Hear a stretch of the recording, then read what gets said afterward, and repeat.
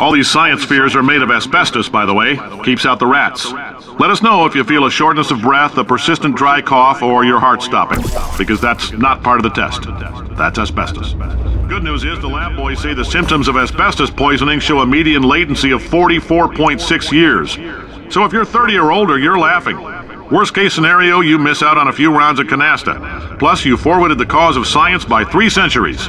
I punch those numbers into my calculator, it makes a happy face.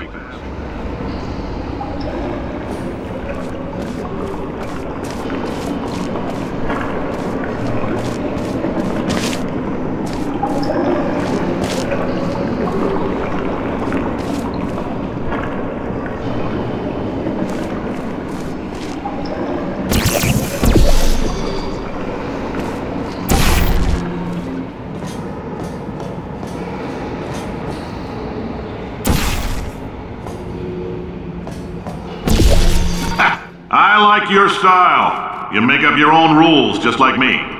Bean Counter said I couldn't fire a man just for being in a wheelchair. Did it anyway. Ramps are expensive.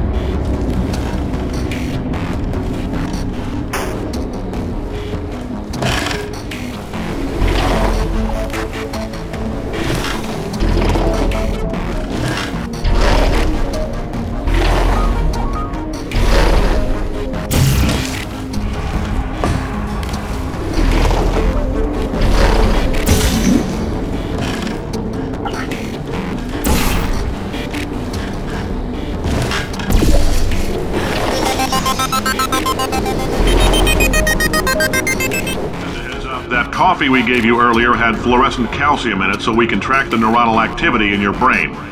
There's a slight chance the calcium could harden and vitrify your frontal lobe. Anyway, don't stress yourself thinking about it. I'm serious. Visualizing the scenario while under stress actually triggers the reaction.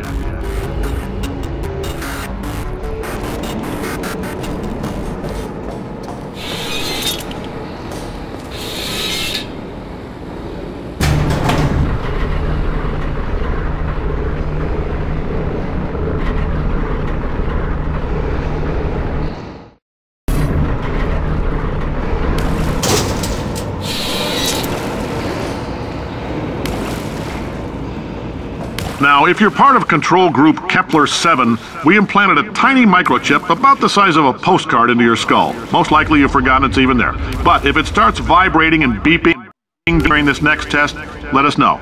Because that means it's about to hit 500 degrees, so we're going to need to go ahead and get that out of you pretty fast.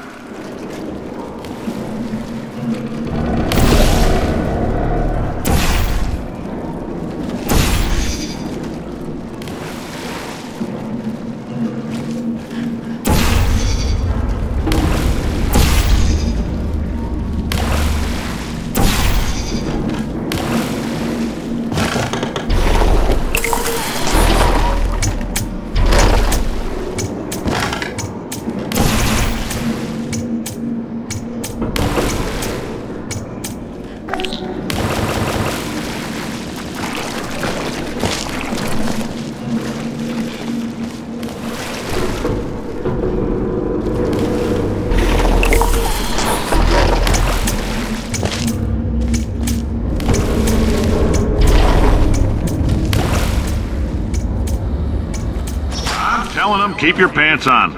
All right, this next test may involve trace amounts of time travel. So, word of advice, if you meet yourself on the testing track, don't make eye contact. Lab boys tell me that'll wipe out time. Entirely. Forward and backward. So, do both of yourselves a favor and just let that handsome devil go about his business.